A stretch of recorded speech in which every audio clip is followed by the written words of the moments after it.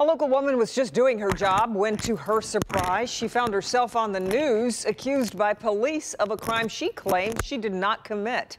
Local 4's Evrod Cassimy spoke with that woman whose life changed by simply picking up a catering order.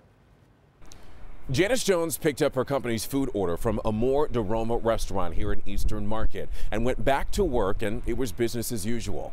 That was two weeks ago. Then this past Monday, her photo was all over the news, accused of stealing $145 worth of food. I wanted to take the opportunity to be seen, same get up almost, and, and make it right. Make it make people understand that I didn't do this, that I did nothing wrong. From outside her Detroit home, Janice Jones explained her side of the story. Two weeks ago, she was asked to pick up what she was told was an already paid for food order from Amor de Roma restaurant for work. And then this happened.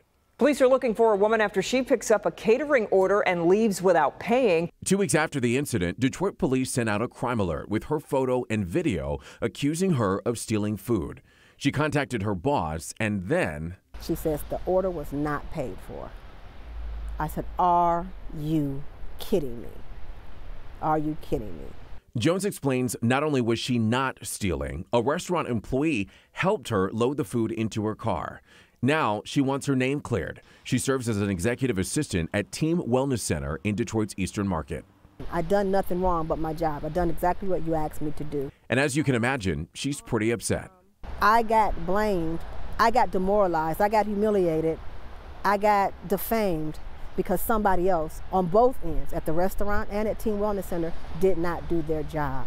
A restaurant employee and Team Wellness Center tells me that bill has since been paid. Janice, however, is still working with Detroit police to close the case officially. In Eastern Market, Evrod Cassimy,